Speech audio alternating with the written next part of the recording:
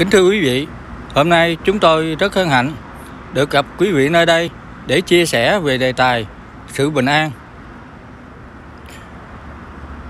Giêsu là đấng thần nhân, liền ngôi thiên quốc giáng trần chết thai, tình yêu Thiên Chúa tỏ bài, đáp ứng công lý tặng ngay thiên đàng, cứu Chúa sống lại vinh quang về nơi thiên quốc hứa ban linh thần, làm sao tiếp nhận thiên đàng, ăn năn tội lỗi thật lòng với cha.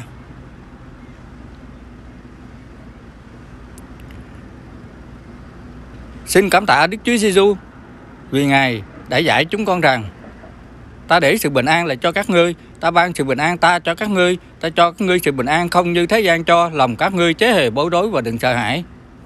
Và Ngài cũng đã dạy chúng con rằng hỡi những kẻ mệt mỏi và gánh nặng hãy đến cùng ta, ta sẽ cho các ngươi được yên nghỉ. Vậy giờ đây xin quý vị và chúng tôi hãy trao gánh nặng cho Chúa. Ma quỷ biết thời gian của mình không còn bao lâu nữa nên dẫn quản sẽ có một tai nạn từ trước tới bây giờ, chưa từng có và sau này cũng không có nữa. Nếu Đức Chúa Giêsu không cầm tai nạn lại để cứu những người tin Chúa, thì không một ai đứng vững. Xin cảm tạ ơn Ngài. Xin cảm tạ Đức Chúa Trời vì Ngài yêu thương thế gian đến nỗi đã ban con một của Ngài, hầu cho hễ ai tin con ấy không bị hư mất mà được sự sống đời đời.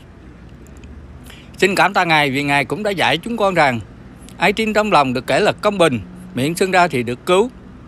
Xin cảm tạ Đức Chúa Giêsu vì Ngài cũng đã dạy chúng con rằng khi ta đã đi và đã sắm sẵn cho các ngươi một chỗ rồi, ta sẽ trở lại đem các ngươi đi với ta, hầu cho ta ở đâu thì các ngươi cũng ở đó.